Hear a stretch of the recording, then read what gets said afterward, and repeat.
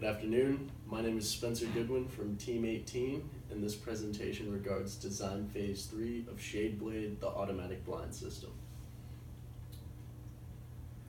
This began with a concept generation exercise in which our team split up individually and create a wide range of concepts. We did this keeping in mind our target audience, DIY customers, college students, and those looking for a budget solution to automatic blinds. We believe this to be a valid group due to the fact that our, most of our competitors' products are priced 30 to $40 higher than our product will be priced.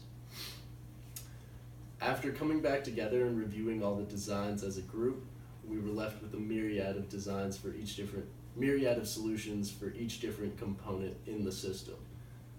This was true for the power supply. We were unsure if we were going to use solar power, battery power, or a plug-in, and also true for the user input and the torsional component that would actually twist the blinds. We were unsure if we were going to provide input through um, solar,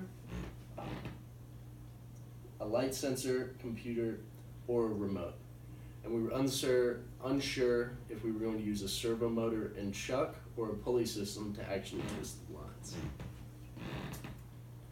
These concepts were narrowed down in multiple concept gener- multiple concept selection exercises, of which included the generation of a concept poster here in which we combined these components the user inputs, power, blind operation, blind me operation mechanism, and mechanical interface. Here you can see each component is randomly connected with another. This allowed us to view each component and its benefits in a relatively unbiased state. What did each component add when it was put into a random system? This evaluation was ultimately beneficial in the selection of a final prototype.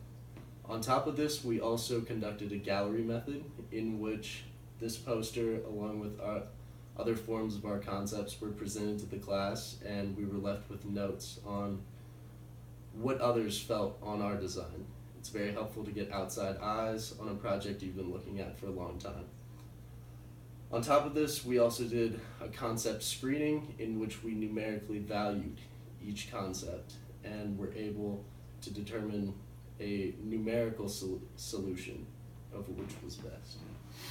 You can also see here on the left is our initial prototype containing a servo motor and chuck connection using this pencil here to represent the rod that twists the blinds open and closed. It should also be noted that we left the Arduino and breadboard open. We did this to allow our DIY customers to add their own electronic components to potentially improve the product, however this is not necessary. Once this had been completed, a failure modes and effects analysis was conducted. To do this, the team identified all potential failure modes of the system, of which there were four. Two of these were notable, um, slip between the chuck and the servo motor itself, along with the lack of light provided to the light sensors. Slip between the, ch the chuck and the servo motor would result in no torque delivered to the system and thus a failure of operation on the blinds.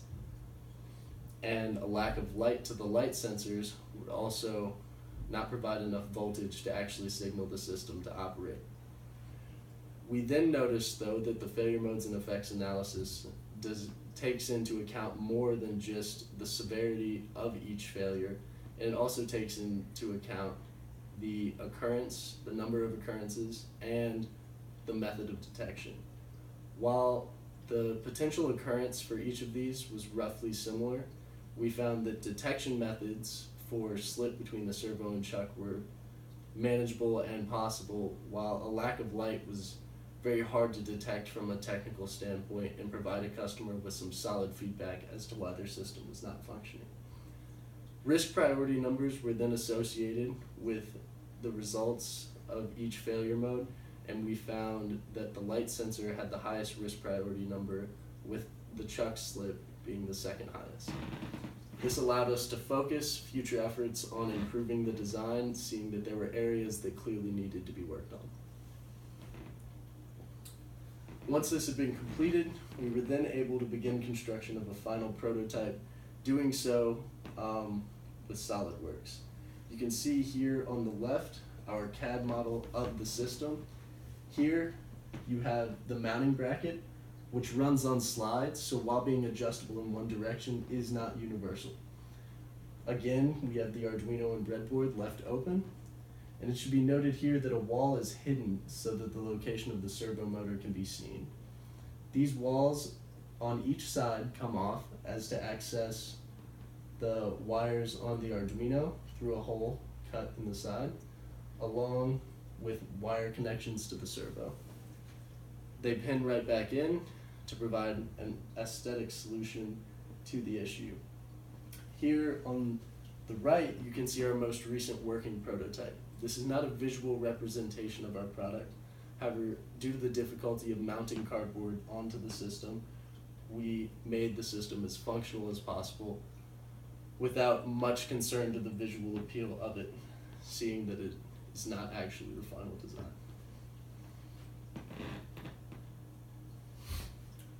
Using these CAD files, um, manufacturing quotes were submitted to Proto Labs to gain a better understanding of our price estimates from earlier in the semester. This allowed us to generate a full beer, bill of materials and actually evaluate which manufacturing method we were going to use. Our bill of materials included buying Arduinos in bulk, buying servo motors in bulk, and obviously buying the plastic casings in bulk. Our quotes from Protolabs showed that injection, injection molding was a much more profitable form of manufacturing for this product, seeing that after roughly about 25 units made, um, injection molding became more economically feasible. Um, you can see here an injection molding quote for the main component that houses the system.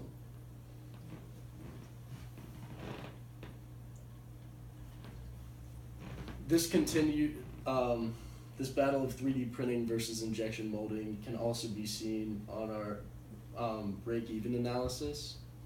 Here, we've conducted the break-even analysis using injection molding finding that roughly 1,213 units get us back out of the hole into zero dollars, and that's when profit will finally start to accumulate.